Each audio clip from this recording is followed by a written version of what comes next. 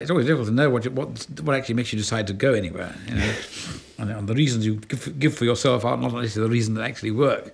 Um, I think the on the one hand, I'd been to Princeton a lot in the past. You know, I went there first when I first, I, after my PhD. I'd been on two subsequent visits for a term, uh, and you know, there's no question Princeton was for a long time the mecca of mathematicians. There was all the big shots were there. It was so. I decided it was a natural thing to go. Um, I, I'd spent a year visiting before, which that was in '67, which is actually when they sort of invited me to take the job. I said I'm not going to make up my mind while I'm here. I'm going to go back and wait, wait till I get back to England and decide. And um, I think the, the other the other factor was uh, some aspects of things in Oxford, sort of, you know, I didn't like very much. Um, well, the two things. One was that the, the, the general university set up, and uh, there was a lot of resistance to change and getting things done, and bureaucracy, and and, and uh, conservatism, and, and there was the there was the Franks Commission, which was on when I first went there, and it had expectations of big reforms.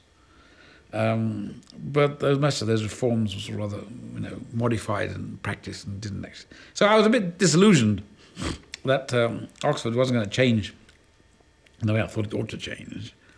And secondly, I got to the point where, you know, until that stage I'd been a sort of young chap and there were always, you know, you, you had you older people around you from whom you, le- you learnt things and, you know, you worked in an environment.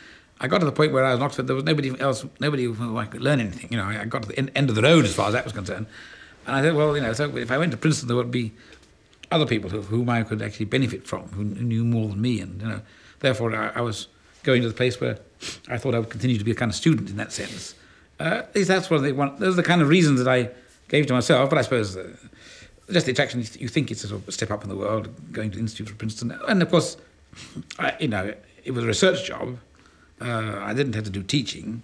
In Oxford, as a professor, you didn't have to do much teaching, but you had to give courses and involve yourself. So that was a kind of factor. And, uh, and of course, the Institute has a very relaxed timetable. Every April, you can come away. End of the year, I can come back, and I did spend uh, the rest of the year in, in, in, Oxford. So you know, it wasn't a total. You didn't separate yourself totally. I was I was back for the term and part of the summer. Um, and of course, the Institute of Princeton had the attraction that uh, it's a lot of money. You could invite lots of people. You know, uh, could, you, know you, you, came worked with me, the Institute. I could invite assistants. Um, so it, it, it, gave you a lot of possibilities for operating on a bigger scale, and the, all the visitors there uh, were obviously a benefit. So there are lots of reasons which are, you know, well, other people have gone to Princeton for, presumably for the same sort of reason, but they don't always stay.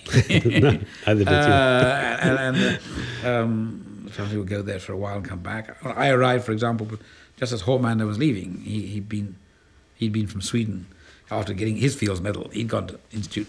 I think he spent about three years. Just I, I was going there, he mm. was just deciding to go back to Sweden. Mm. Um, so it's a sort of not an unusual path uh, to follow.